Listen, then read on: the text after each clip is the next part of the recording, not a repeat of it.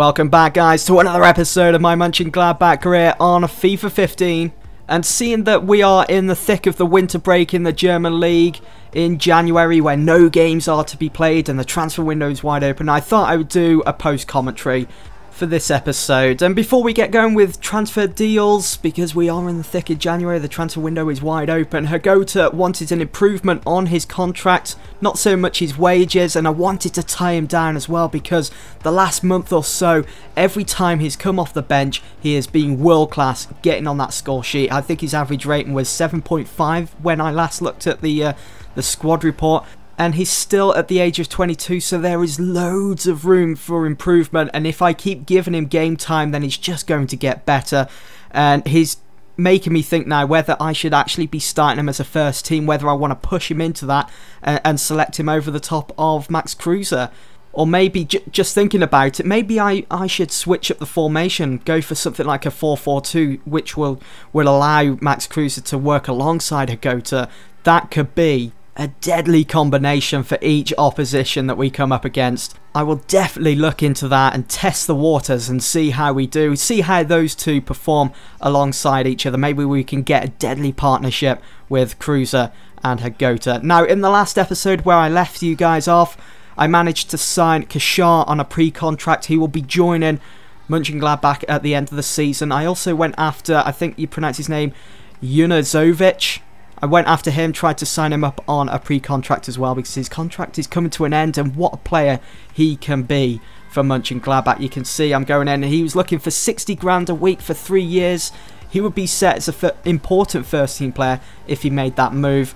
It's all about those negotiations. And then I saw this headline that Hanover had agreed to let Ron Robert Zieler leave the club in January as well because he is a top keeper He's at the age of 25. Again, another player that's got loads of uh, room for improvement. And his potential isn't too bad. And it got me thinking maybe I could offload Hessel at the end of the season. Bring in Zieler and maybe have him as my backup keeper. Or he could become my first team uh, goalkeeper instead of Sommer. At the time, it, it really got me thinking, should I go after Zieler at the age of 25? Decent goalkeeper. I did go and put in an offer and see what would happen. Now, as you can see, his value is 6.5 million.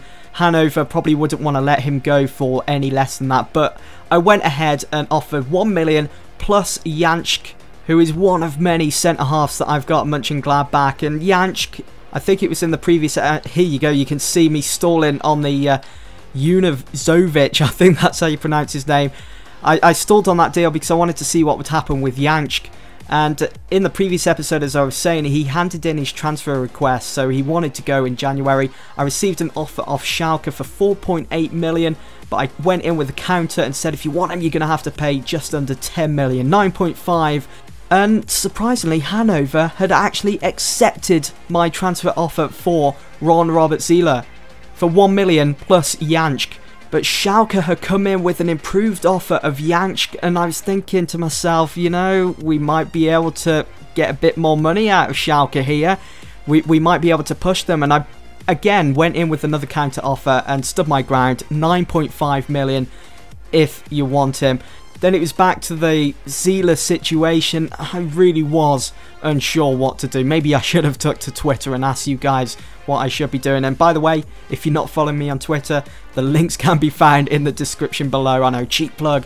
I went ahead anyway and offered him a contract worth 50 grand a week, three years, important first team player, and I've always got that option to either stall on the deal or simply say no.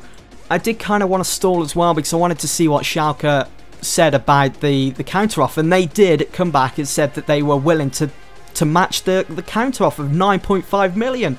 So at this point, I'm stuck in the mud. What do I do? Do I sign Zieler and let Jansk go the opposite way? Or, well, Schalke had already accepted the deal. They were in contract talks, so it was right now that I had to make a decision, and I rejected Ron Robert Zieler. Went ahead and accepted Zlatko Junuzovic from Werder Bremen. And once that deal will go through, just like Kashar, he will be joining in the summer and playing for us next season. And that meant that Jansk would be going to Schalke. going in the opposite direction than Santana because as you remember in the summer I signed Santana from Schalke and now they want one of my centre halves to try and fill in that gap and they've gone after Janksch and have got their man. So Janksch has left, Mönchengladbach has joined Schalke for 9.5 million but the board has only allocated 8 million of that to add to my transfer kitty. Now, one of the players I have been looking at because I know I need to strengthen my full back position, especially left back, and I think I've found the perfect player to fit into that left back position to work with Dominguez to try and compete with each other for a first team spot in Jetro Willems from PSV. Quite a few of you guys suggested that I go after him and I thank you guys for leaving those suggestions in the comments below. In previous videos, Willems' value 12 million. I thought maybe we could get him for less, so I put in an offer of 7.5. I think that's fair enough. We've got 8 million just over to spend. So I was feeling confident that we could sign Willems to a contract at Mönchengladbach. You can see in the headlines as well, quite a few other deals have been put together. Nothing huge to note really apart from Aguero being linked with Bayern Munich. But take a look at this. After talks have broken down between Zieler and Mönchengladbach, Arsenal came in straight away. They've pounced on it and they've completed that quick fire move for Zieler. He has joined Arsenal, he is returning back to the English Premier League. PSV came back to me and said it was just not acceptable, the offer of 7.5 mil. They put a price tag on Willems' head of 9 million. I didn't have that, so I stuck with 7.5 for the time being as I tried to search for another player that I could potentially put in the uh, the whole deal itself, maybe offload someone else that we may not be using throughout this career mode. I thought Thorben Marx and then Fabian Johnson, who, uh, you know, I don't feel as though I've got to know the player. I've, I haven't used him at all. We've got Angel Rangel, and I mainly play Korb as my first team right back anyway. So I put in an offer of 8 mil in the end instead of 7.5 as well as Johnson.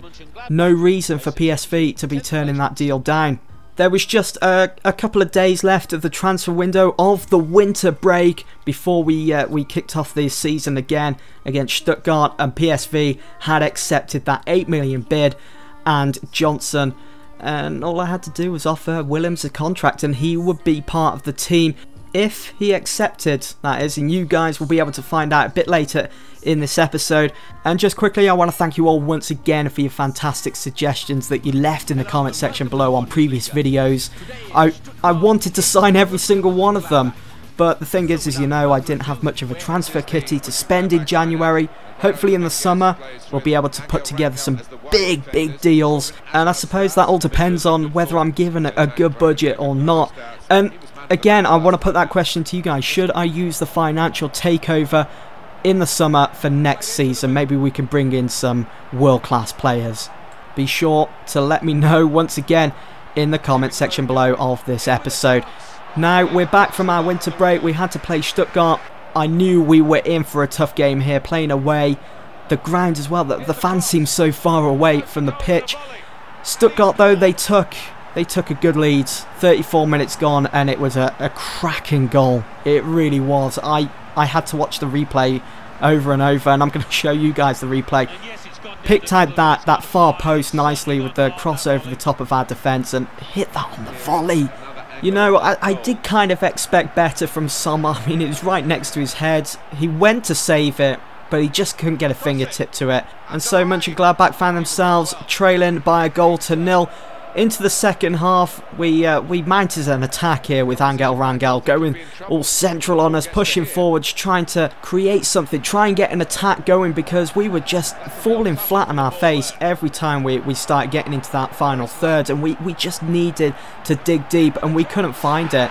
And it's just deflating and it was a shame that we had to go and then concede a second goal in the 87th minute. You know, we were in good form before the winter break and as soon as we returned back, the first game back from that winter break, we go ahead and lose it, dropping all three points and probably dropping all momentum that we had built up before. We're still in a good position though, we're still in fourth in that European spot, but we are three points behind Schalke now. And then there's Wolfsburg hot on our tails, just two points behind us, so we, we really need to be winning our next Bundesliga game. It was transfer deadline day, 10 hours to go, and I had the news that Jetro Willems had accepted my contract offer, but I was a bit intrigued by this as well. Everton were going in for a bid. Do you remember when I signed Willems when I was doing my Everton career on FIFA 13? I just thought it was funny to see Everton going in for him again. But yes, I did manage to come to terms with Jetro Willems. He has now signed for Borussia Mönchengladbach, the 20-year-old hot prospect. He's going to be amazing in that left-back position.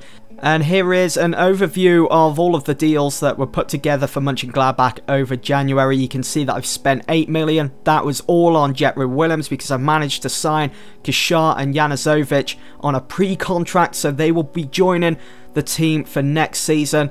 And Johnson, Stranzl and Jansch went the opposite way. They went out of the club in January. Also in January, Wolfsburg were splashing the cash. They managed to sign Jackson Martinez. What a deal that is. The race for that European spot for next season certainly hotting up. And Martinez, he's he's a brilliant talent. He's going to be their talisman now all the way to the end of the season. And take a look at this as well. Bayern Munich have strengthened their team even further now, bringing in Manchester City's Sergio Aguero for the sum of 57.5 million. We can watch out when we uh, when we have to play them again in the Bundesliga. So that was it for the transfer window. Not much was happening, not many players available, and I didn't really have much of a transfer kitty as you guys know, but 149 million in total was spent. It's incredible that. And to finish things off for this episode, the draw for the quarterfinals of the Deutsche Pokal has been made. Borussia Mönchengladbach will play away against Bochum, and that's going to take place on the 4th of Feb. Anyway, guys, that's going to be it for this episode then. Hope you've all enjoyed, and I will see you all very soon for the next one. Thanks for watching.